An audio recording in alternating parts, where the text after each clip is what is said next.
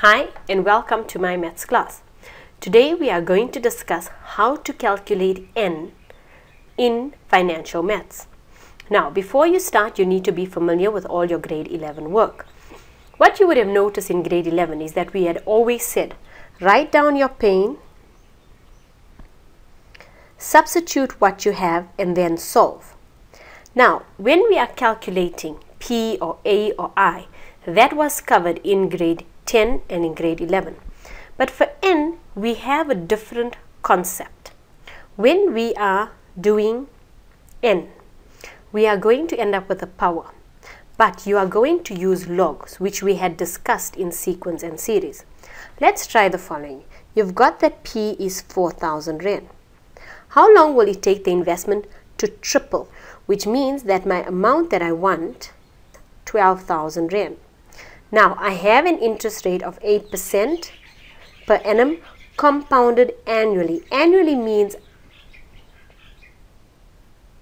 annually means that I am not doing an adjustment to I or N. Now, N is what I want to calculate. Now, once we have our information, we simply substitute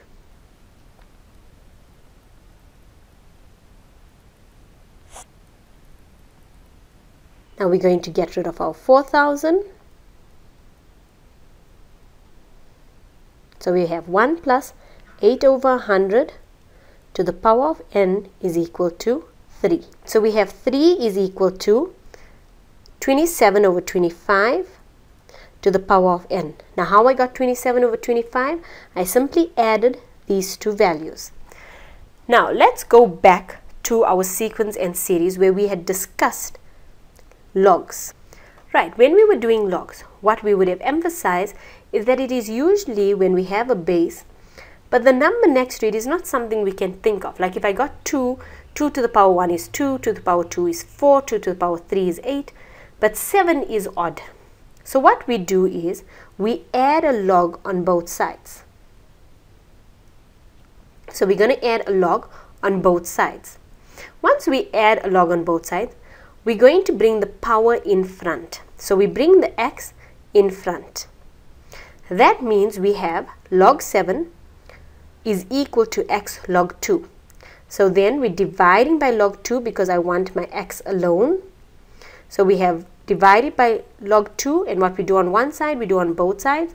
So we have log 7 over log 2. If you use your calculator you'd end up with x is equal to 2 comma 8. So if you remember your logs, now we've got another funny number, 27 over 25. We have another funny number, 27 over 25. How are we ever going to make it to the base of 3? So what we do, when we're doing this, number one, you're going to put a log on both sides. So I would have log 3 is equal to log 27 over 25 to the power of n. Then you're going to bring the power in front. So we're going to bring our n in the front, giving us n log 27 over 25 is equal to log 3. How do I get my n alone? Normal standard algebra. Divide it by what it's being multiplied. So I'm going to divide both sides by log 27 over 25 and then you can press this into your calculator which will give me n is equal to 14 comma 27 if you want to convert the 27 to months we know that in a year we have 12 months. So you're going to say 0 comma 27 times 12 which should give you about 3 months so we have 14 years and 3 months. Okay, let us take the same question that we had, but I have now changed something very simple. I've got Sam invested 4000 Rand into an account that pays 8% per annum, but it is compounded quarterly. How long will it take his investment to triple? Now based on all our previous financial maths, we know we start by writing down our PAIN. So if we invested 4,000 Rand, we know that our A is going to be 12,000 Rand. Now our interest is 8 over 100, but I'm going to divide it by 4 because they use the concept quarterly. Right, so if I got 8 over 100 divided by 4 is 1 over 50. I prefer writing it as a fraction because it is easier to do the calculation and with financial maths the rounding off too early can affect your answer. Now, had we had our n, whatever our years was, we would have had our years and then what would we have done? We had immediately times it by 4. That's what we would have done for our n. Now, take our standard formula.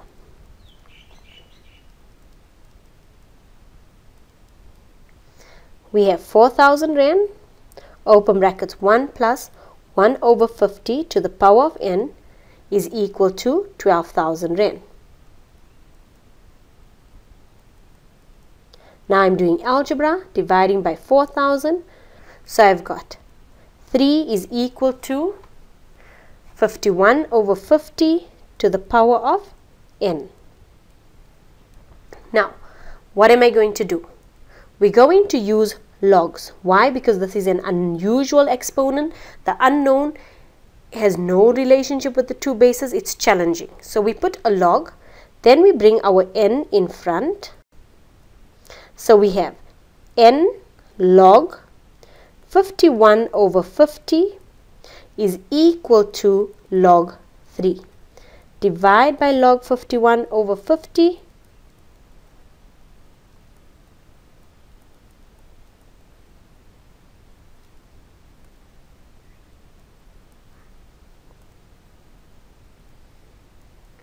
This you would press in your calculator. So we have n is equal to 55 comma 5. But now remember like your interest that you had done in grade 11. When we have our n, our n is the years times 4. Which means I have 55 comma 5 is equal to my years times 4. So if I want my years, I have to divide by 4. Which gives me that my years is equal to 13 comma 9 years. If I want to change my 9 to months, I'm going to say 0 comma 9 times 12 which equal to 11 months. So my answer is 13 years and 11 months. Thank you for watching.